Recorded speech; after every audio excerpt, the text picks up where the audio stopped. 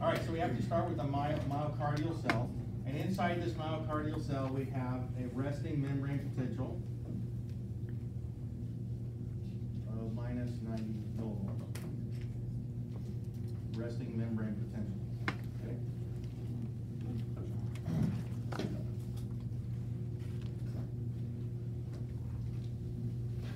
All right, inside the cell, we also have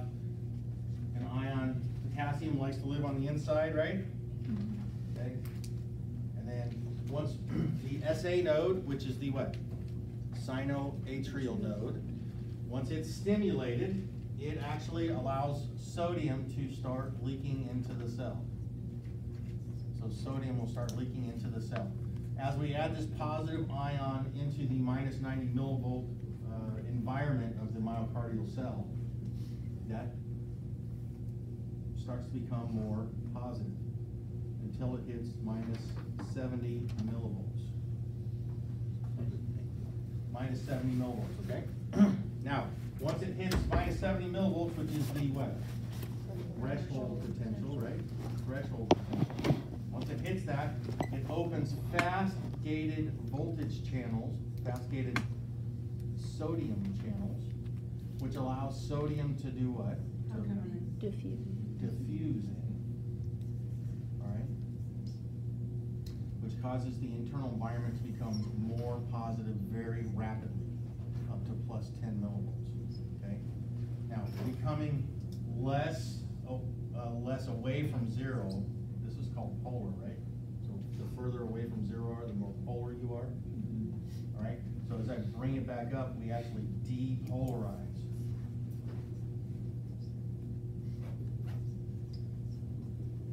Depolarization is re- referenced as positive, yes? Mhm. Okay, so we're coming up, we're coming depolarized. All right, once we hit plus ten, the sodium channels shut off. And these other channels open. We have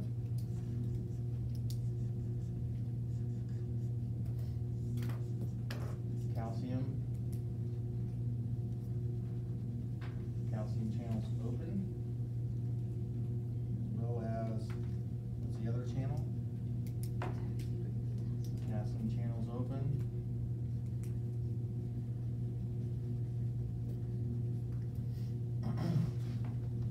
And we end up with this, what we call plateau phase. They're swapping, Cal- potassium's leaving, calcium's coming in, and we end up with this plateau phase, which is voltage, right? Uh, it doesn't change because we have this goes in and goes out stuff. So potassium is leaving, leaving, and then calcium channels shut off, and potassium continues to leave, and we end up going back to what? Repolarization. Okay, repolarization. So we can say repolarization.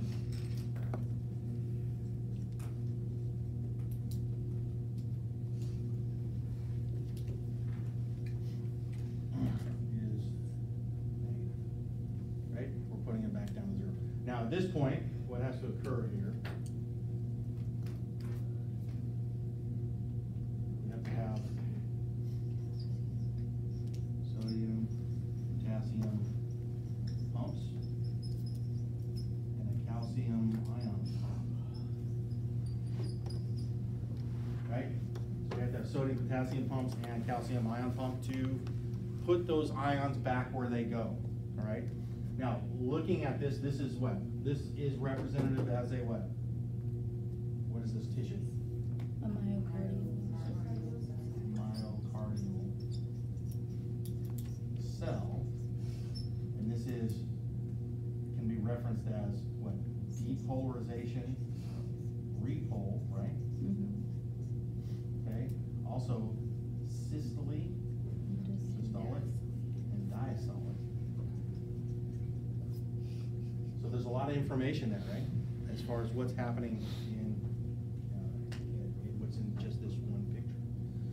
As sodium starts to dump into the cell, we watch the inside of the cell with sodium, right? Well, each myocardial cell is connected or communicates with the next cell through Gap junctions. gap junctions. Gap junctions, okay? And that's also the intercalated discs. Right? So the intercalated disc? And that, of course, stimulates the next cell, and then it stimulates the next cell, so on and so forth, right? And that's how we get our syncytium, right? Our syncytium. Okay.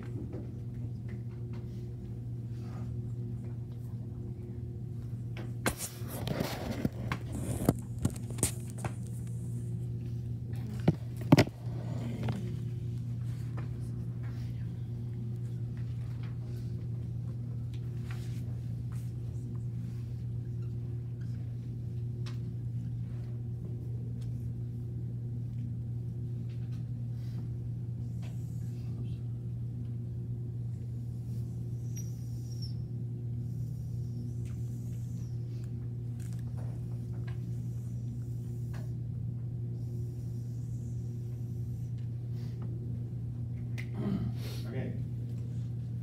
All right, so we have our heart. We have, in the beginning, we have up here on the top, we have the SA node, which is what?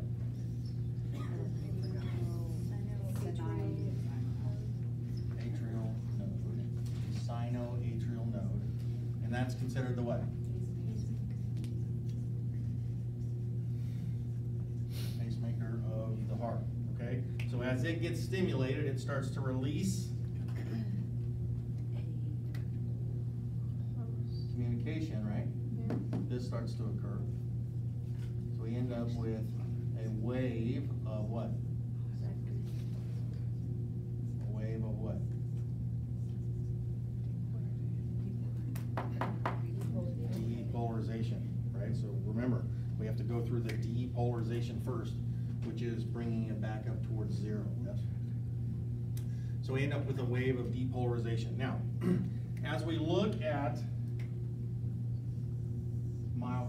tissue as a whole, we have cells.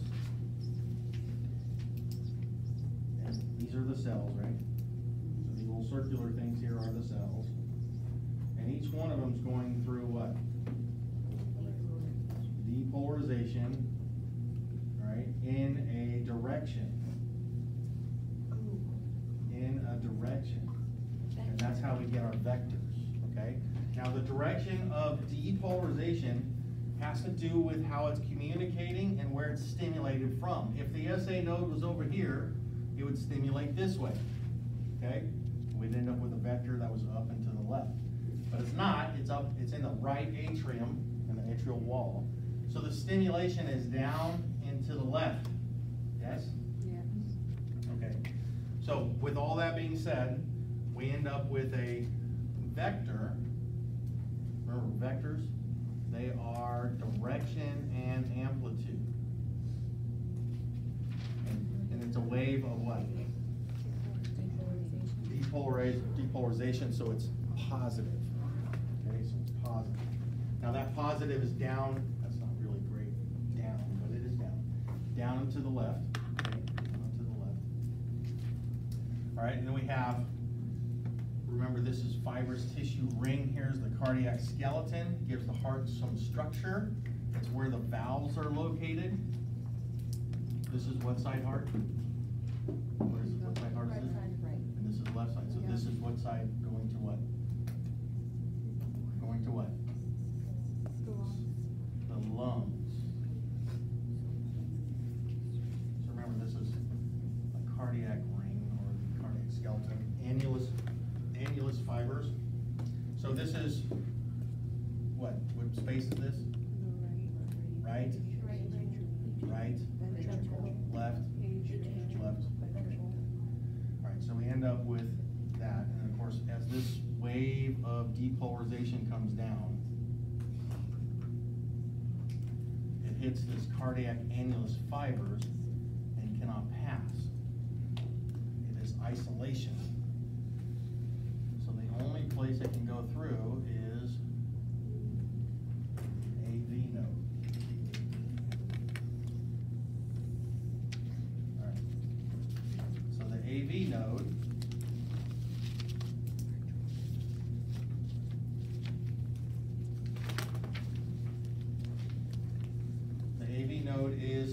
a gatekeeper, it's also a time delay. And the time delay is there because we need to do what? We need to allow the what to do what? We need to allow the atrium to finish going through what? Depolarization, right? So this has to finish before this signal continues on down through that tissue there. Okay, so AV node, what makes it a time delay?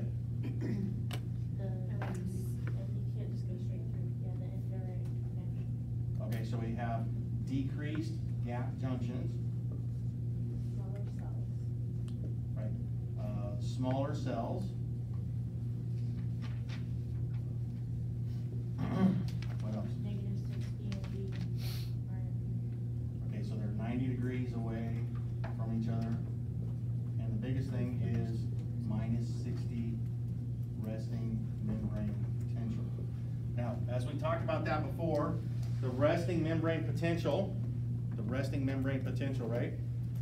Um, The most important thing about the resting membrane potential is that it is less.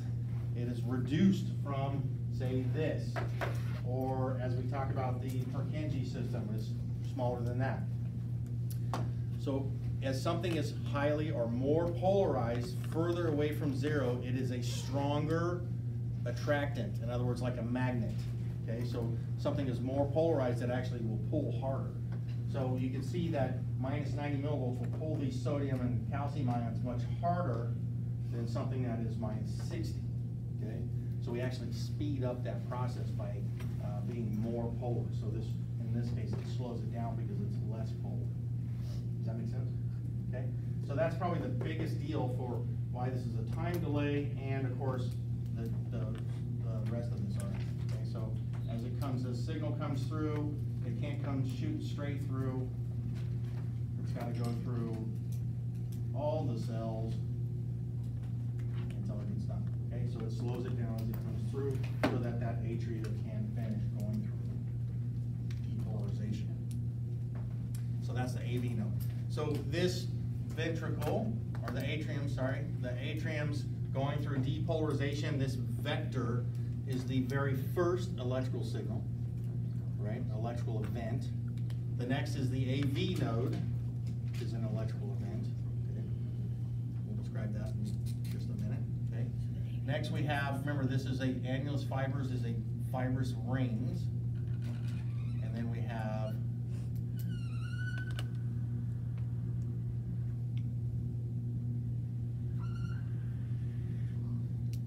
wobbly today.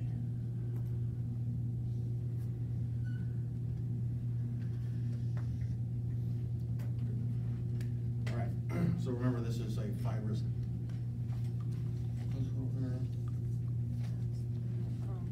Right, so let's go ahead and do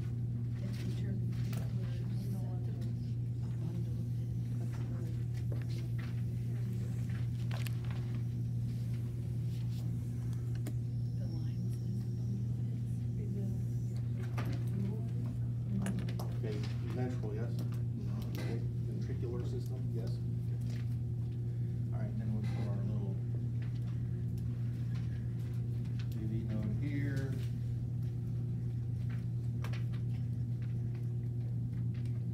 All right, so this is what ventricle, right?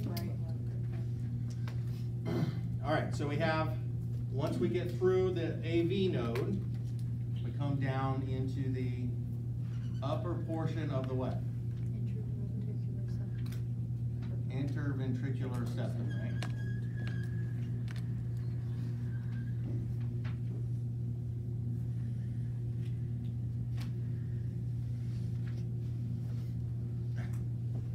I'll be today. Maybe I need some more coffee. Okay, so we have the upper portion of this interventricular septum, remember, is fibrous tissue. And then it turns into a fibrous sleeve that goes down this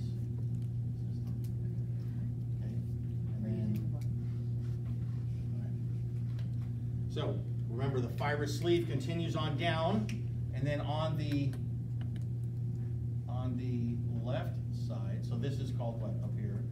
The bundle of His. This is the bundle of His. This is the what? Left bundle Left branch. bundle branch. Right, this is the right. Right. Okay, left and right bundle branch. So from the left bundle branch, there's openings in the sleeve down here at the bottom that allow the wave of depolarization to begin and start, and start, and start, and depolarize, coming back up the ventricle, so we stimulate vasoventricular depolarization, right? So we end up with a, a, a vector, which way? Up into the, up into the Up and to the right, and that's a wave of what? depolarization. And depolarization up and to the right. Okay? Now, let's, real quickly, we have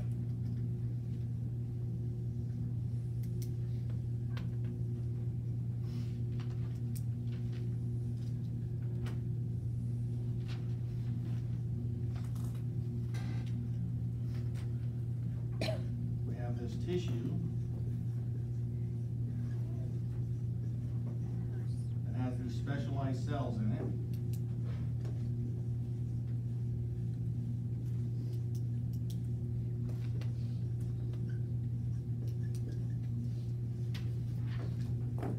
And this specialized cells, so this is what called the what, the purple there is called Purkinje. Purkinje, right?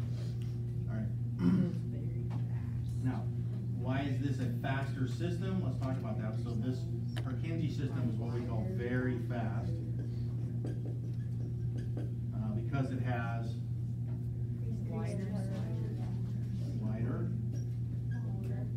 longer, Uh, increased number of gap junctions.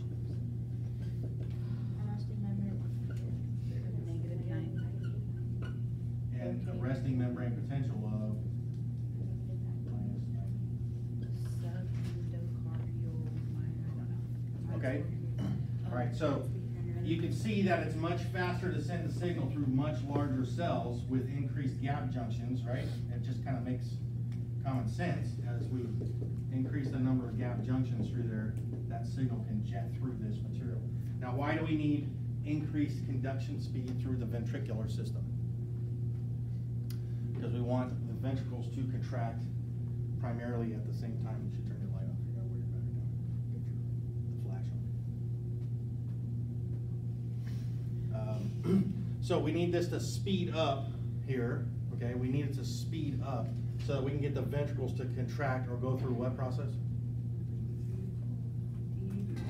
Systole. Systole. Systole, remember, contraction, okay? Systolic, okay? Okay, so systole. All right, so we need that to speed up so that kind of occurs at the same, same time, all right? All right, now, uh, we said that we did the up and to the right for vasoventricular depolarization, BVD, right? Mm-hmm. Not underwear, right? Vasoventricular depolarization, okay? Now we have, we have to continue the stimulation or the action potential. We have to have the Purkinje system.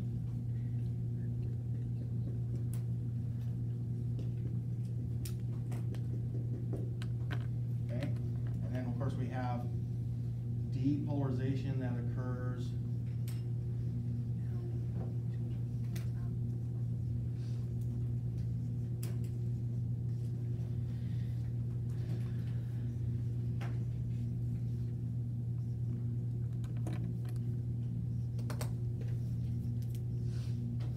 Alright, so we end up with a vector, remember.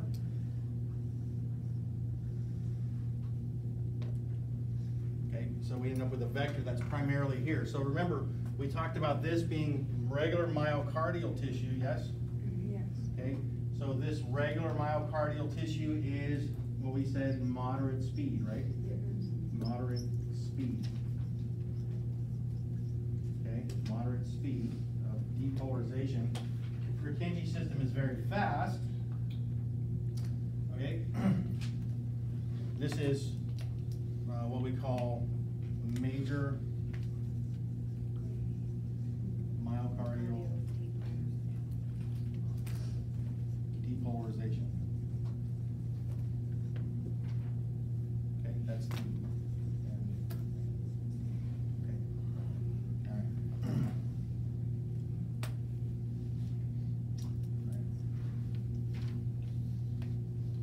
All right, so we had, the Purkinje system is located where in this myocardium? Subendocardial myocardium.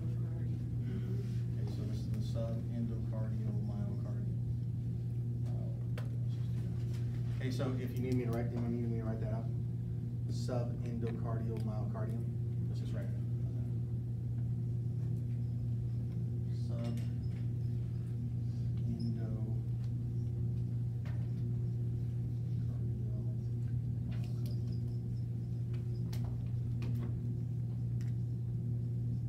Okay. Now, that's the deepest Yes, the deepest layer. So remember, the internal tissue, the very internal tissue is called the what? The superficial layer is called the, layer. no, no, not out here, in here.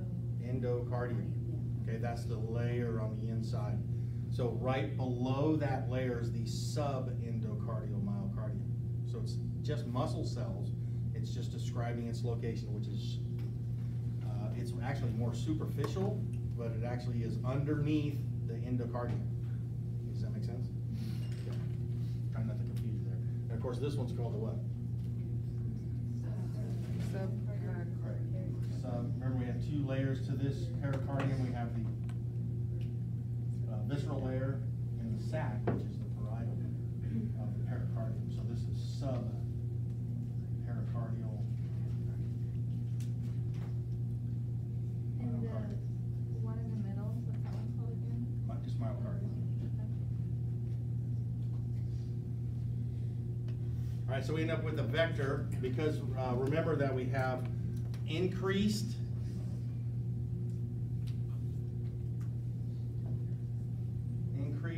tissue size gives us what?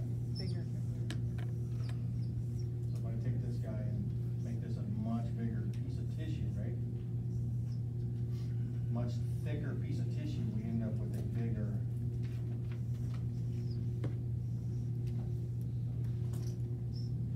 Bigger vector, so the more tissue you have, the larger the vector is, okay? And what do we say about the ventricle, left side compared to the right side? Is what? About three times as big. So when we do dissections on the cow hearts, or when you look at the cow hearts today, or you already have, you will definitely see a thicker, thicker tissue on the left as compared to the right. Of course, why? One has to go to the body, right? Systemic circulation vice pulmonary. Okay. All right, so we end up with this depolarization continuing around. So this is major myocardial depolarization, and this is what is this one up here is called?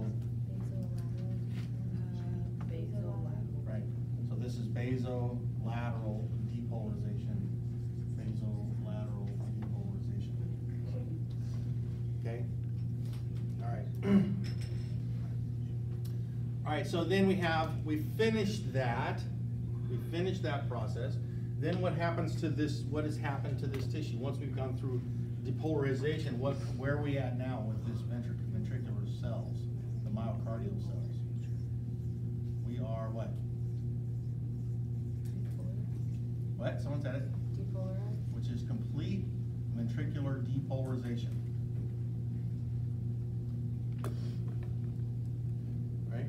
complete ventricular depolarization.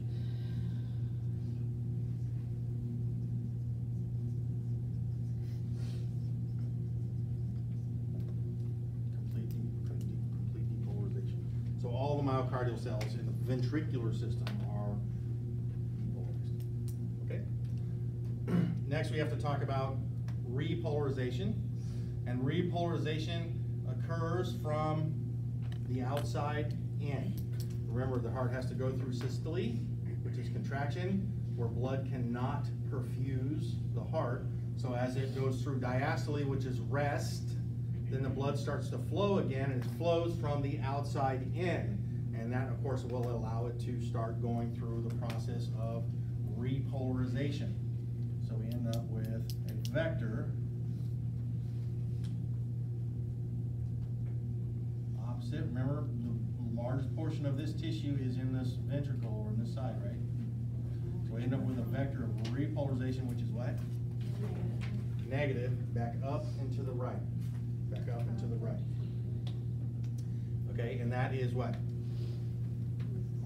Major myocardial repolarization vector, okay? Major myocardial repolarization up and to the right, okay?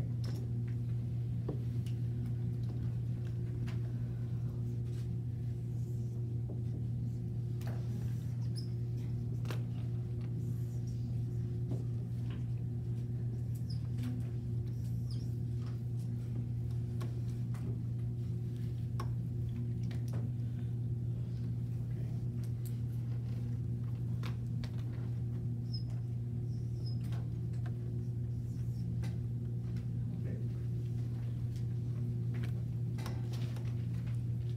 All right, any questions up to this point? No?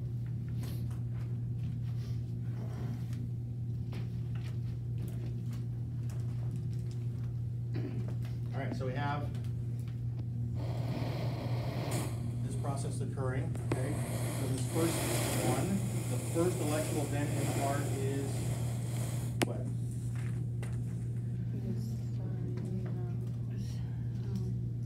Is what? I forgot. Uh, first one that we're gonna show on the EKG. Atrial depolarization.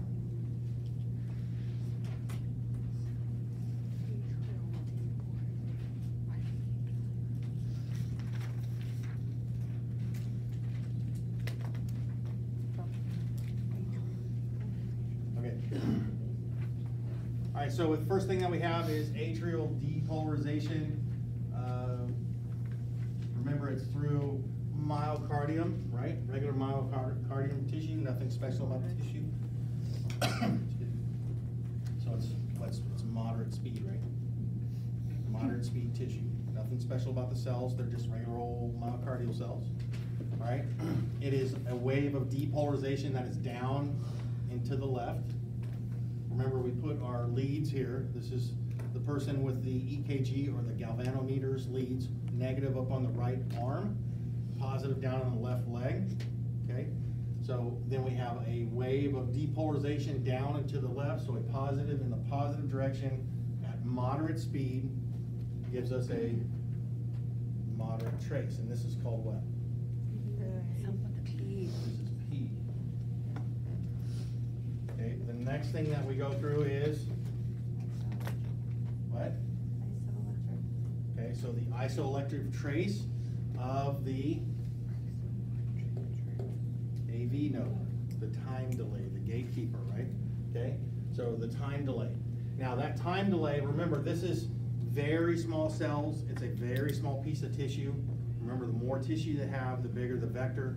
Uh, This actually is so small that the galvanometer can't pick it up, so we end up with a period of isoelectricity, which is this right here, which relates directly to the AV node. okay? The AV node. All right, so next, once we pass through the AV node, we pass through the bundle of His, the left and right bundle branch. The next electrical event is vasoventricular depolarization, which is up and to the right, up and to the right. It is Purkinje system, so it's very fast, very fast. And it's a positive in the negative direction, yes? Because it's coming back up the interventricular septum. So we end up with a negative Vasoventricular depolarization, and this is called what? Q. This is Q. Okay, next is I need to label this. major myocardial depolarization, which is a positive depolarization down and to the left through Purkinje system, so it's very fast. A positive in the positive direction gives us a very sharp, very fast trace. And that's what? R. R. Okay? R. All right, next we have basolateral depolarization, basolateral depolarization, up and to the right, uh, right in the positive direction. It's still Purkinje system, so it's very fast. So we end up with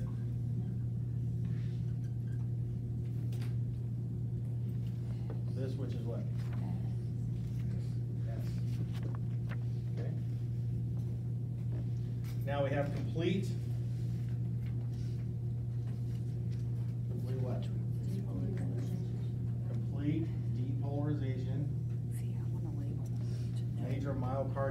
myocardial depolarization, right? Now, why is this isoelectric? Remember, this is zero volts. This is positive voltage. This is negative voltage. So why do we have isoelectric here? Cause it's report. This, all the cells in here are completely depolarized, so they just sit there. Now, everybody's happy, depolarized, and waiting. Okay? So the entire ventricular system is depolarized, all right? So we end up with this period of isoelectricity, okay? So this is major myocardial depolarization or complete ventricular depolarization. Okay? All right, and then next we have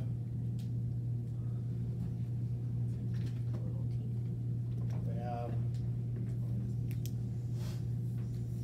this is what? T, which is what? Major myocardial repolarization, okay? Which is up and to the right for reasons we talked about before. It starts from the outside, works its way back in.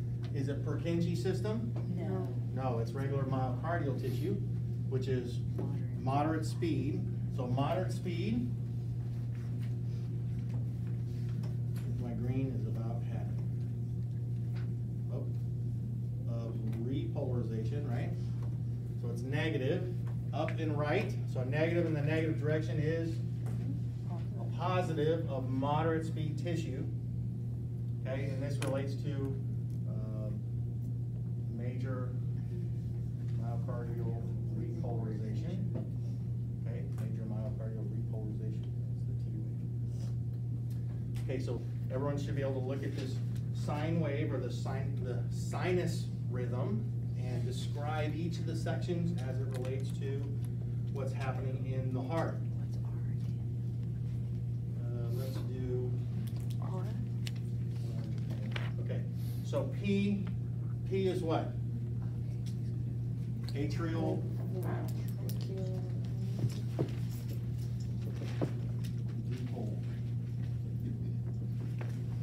Okay, agreed? AV node, yes? Isoelectric.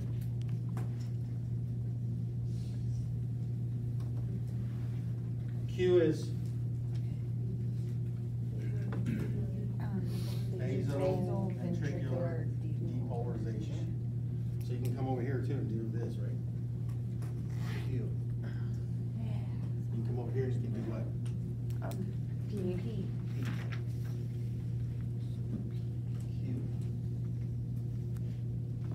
Right. Then we can do QR is what? Major Major. Major myocardial depolarization. So you come over here and do R.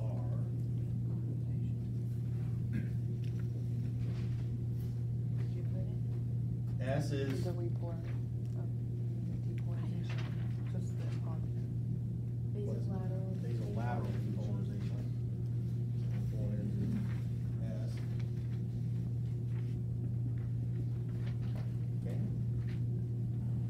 Then isoelectric.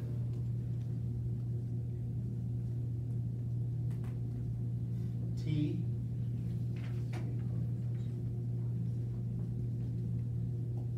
And that is what? Major myocardial repolarization. Okay? It's up at the top of. Oh, yeah.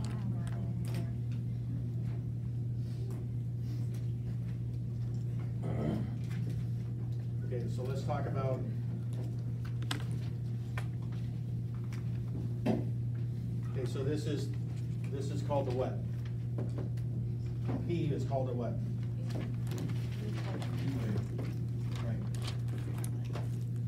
Called P wave.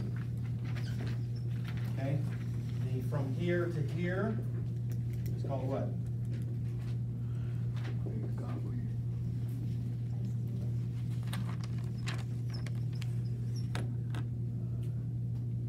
Okay, so the next change is called the PR segment. Now, that R? That's not, right? That's Q. R is up here. Um, A lot of times in the traces, this is not seen, okay? This is always seen. So let them call this the PR segment, but it starts, the time measured is to the next mark, okay? So they call it the PR segment, okay? Then this QRS is called the what? Can be the QRS, could be a wave, right? So QRS wave.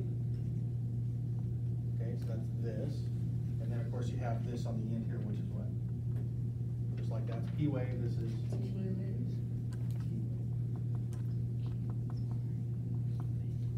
Okay.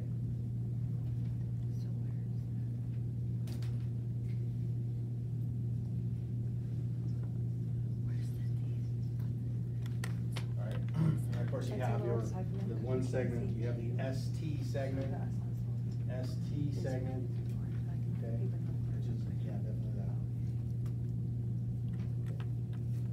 Um,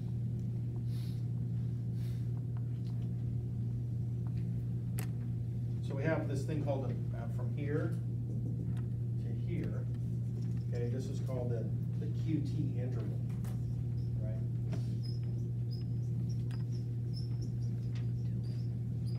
Right, that's from Q all the way to the end of T. Okay, and the reason significant is because this right here is where you're gonna get S one, and this is where you get S two. Okay, S one, look at the thing, we'll describe it, what is a QT interval showing S one and S two? These are heart sounds, lub and dub. Lub and dub, okay, so lub dub, that's what you're listening to, right? So when you have the, the stethoscope in your ears and you're listening to someone's heart, you hear lub dub, lub dub, right? What does that sound relate to? What is Q? Okay, so let's put that into terms that we understand. What is Q is basoventricular depolarization, which is actually the start of what? The start of what? What? Ventricular contraction. And what's occurring during ventricular contraction? What happens besides just the contraction? What has to occur? Papillary muscle has to constrict, contract. Chordae tendineae has to do what? Pull, pull tight, which causes the valves to close. So, Right? Yeah. Right, so we end up with a sound of lub when ventricular, those valves close. And this is semilunar valves when they close. Okay, so, uh, lub and dub, two heart sounds that you should understand where they fit here because it relates to lub dub. And you, the difference in sounds is lub dub, which we'll listen, in- we'll listen to the heart in lab.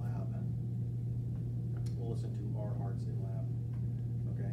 And then we'll listen, what you're listening for is during that lub dub period for changes, things like, if you've never heard a, anyone have a, um, uh, regurgitation or, you know, anything uh, leaking by their valves, valve or anything like that. So a heart murmur is what it's called, trust me, when you hear one for the first time, you'll, you'll know what it is, it kind of squeaks. I got told I had one. Yeah, most of the time youngsters will have, can have one, and they kind of grow out of it. Okay?